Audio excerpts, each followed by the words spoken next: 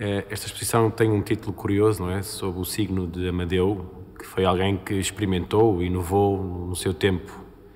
e que na base eh, da sua experimentação está toda, todo o pensamento vanguardista que deu origem àquilo que hoje chamamos arte moderna.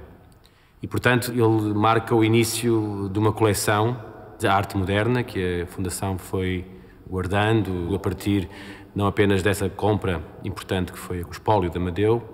mas eh, de todo um conjunto de artistas que ao longo do século XX de alguma maneira colaboraram ou foram uh, apoiados pela, pela Fundação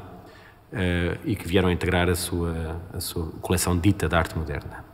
E nasce logo aqui uma contradição interessante com a arquitetura deste espaço. É que ele é imaginado num momento em que os museus não querem ter essa designação, não se quer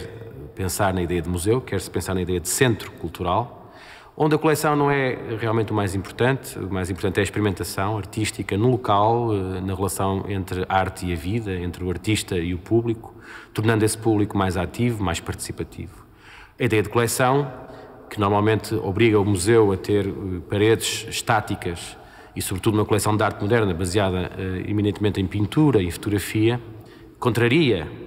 esta perspectiva. Ou melhor, este espaço, pensado desta maneira, contrariava o próprio propósito de fazer aqui um museu de arte moderna ou de expor permanentemente uma coleção de arte moderna.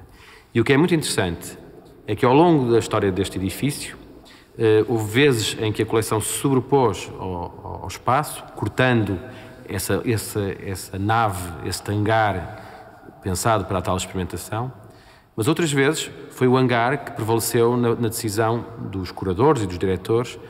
porque, usando a sua espacialidade, convidaram artistas para interagir